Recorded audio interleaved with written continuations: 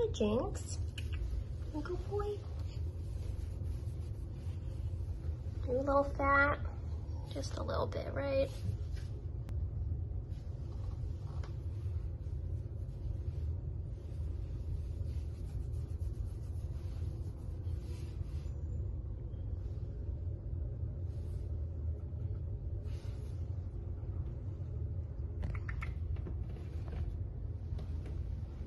The sweetest boy. Just needs a little bit of a diet, right? That's okay.